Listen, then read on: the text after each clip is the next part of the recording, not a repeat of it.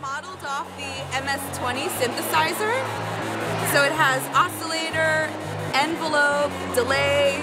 Uh, we also have a micro sequencer. So right now I have power going into two um, channels and there's a little mixer here.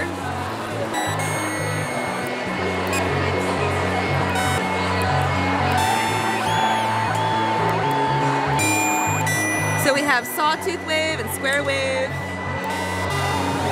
and the oscillator with coarse and fine tuning. And then um, if I turn up mix number two, we have a step sequencer, which is going at a, you know, whatever speed you want to set it. So we can make the speed very fast, make it slower. And you can tune each of the four steps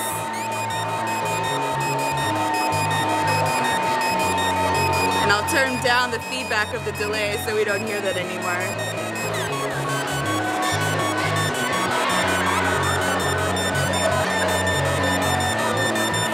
So I'll show you, it's the same bits that are, um, that are here, and this one will be louder because there's fewer stuff going on.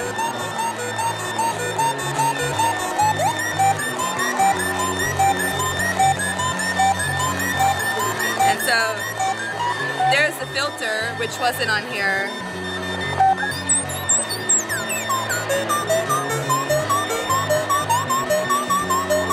And when you turn one of them down, it'll remove the note completely.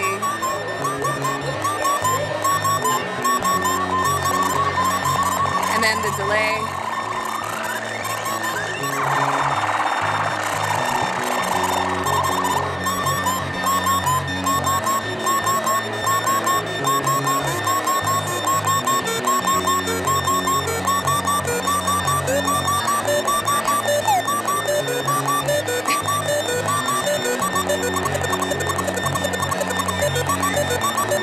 Yeah.